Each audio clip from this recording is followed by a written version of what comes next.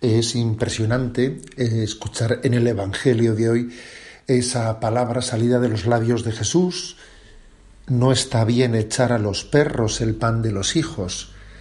Es una palabra que nos sorprende, dicha por Jesús, máxime sabiendo cuando él en otros pasajes del Evangelio subraya que ha sido enviado pues para la salvación del mundo entero, bien sea que Israel ha sido el pueblo de la elección a través del cual esa salvación llegaría a todos, pero eh, llama la atención, nos, nos, nos, toca el corazón ver cómo Jesús pone a prueba, pone a prueba a esta, a esta mujer cananea.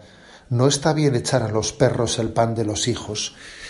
Y esa prueba, eh, esa prueba que Jesús pone en el corazón de esta mujer, eh, suscita en ella arranca de ella una confesión de plena humildad, una confesión en la que esa mujer se olvida de su amor propio, sino que únicamente busca el don de Dios. Tienes razón, Señor, pero también los perros se comen las migajas que caen de la mesa de los amos.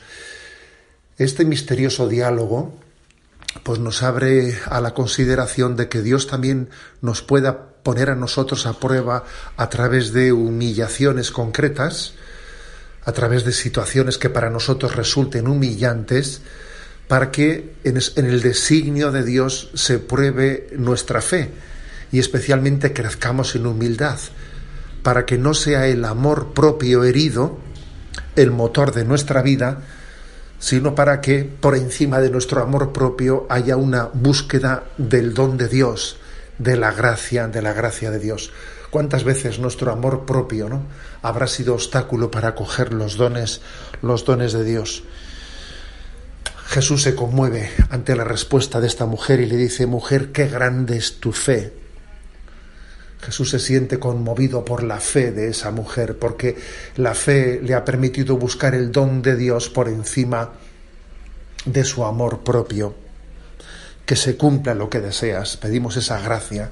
Señor, danos la gracia de que sea la fe el motor de nuestra vida y que en ningún momento nuestro amor propio, eh, como somos percibidos y valorados por parte de los demás, ¿no? nos distraiga de la que es la única meta de nuestra vida, el don de Dios, su gracia, la salvación eterna.